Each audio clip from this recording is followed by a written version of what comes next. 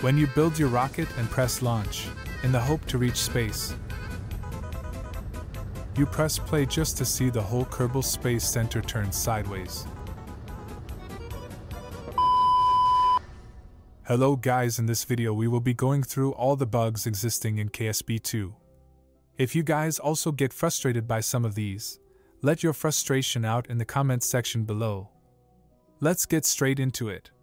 Some references are from the development side of the game. First one is the pause unpause bug.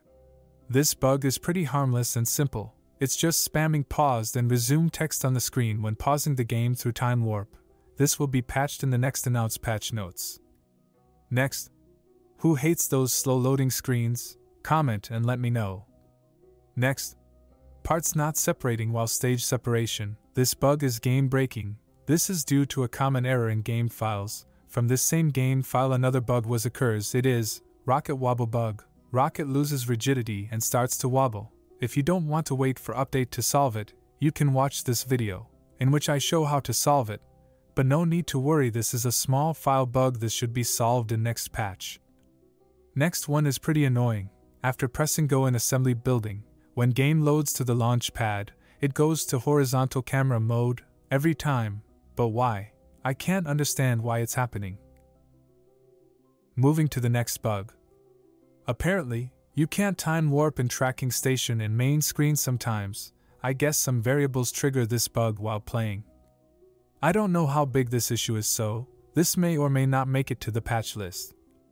Next is game leaves audio sometimes. This is pretty common bug with under development games made in Unity game engine they need to identify what is triggering this bug to solve it first.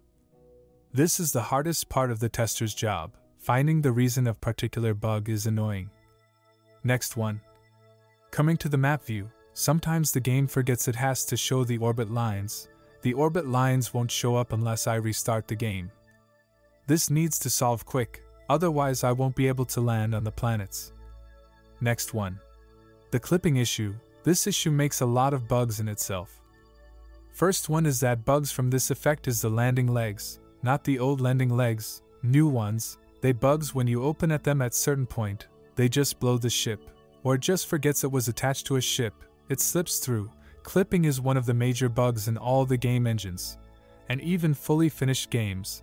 When parts are low poly and less collision density, they can go inside each other. When this happens, game tries to calculate a different level of physics and goes crash. Moving on to the next one. Rockets spinning out of control, unconditionally. When flying, the rocket may suffer from some unconditional spins. This most often happens while using SAS and starting throttling upwards. Playing KSP2 for the first time, I thought this was me who was playing bad. But I soon find out that I'm pretty good at this game, and that was a nasty bug. The next one is player distance calculation malfunction. When you leave on a EVA and get some distance from rocket, the game just brings the rocket back to you and clips it into you and everything explodes. When this happened to me first time, I flinched IRL. This is the issue of distance management from the player to another controllable object inside the game. Next is Kerbals floating on the surface. This is the issue of false collision placement. This happens when the collision is placed incorrectly on the object and it shows as the player is floating on the object.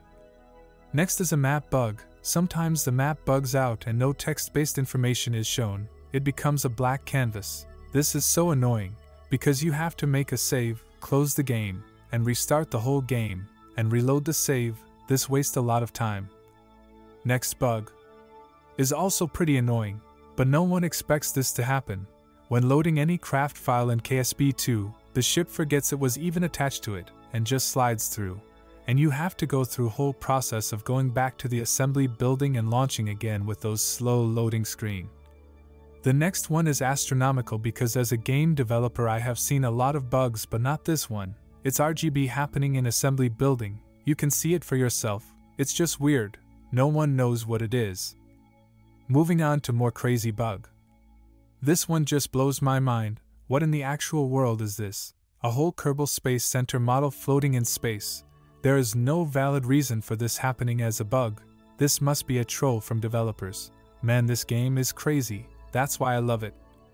The next bug is When you think your space bar is not working, but it's a bug when you want to do stage separation, you press space but nothing happens.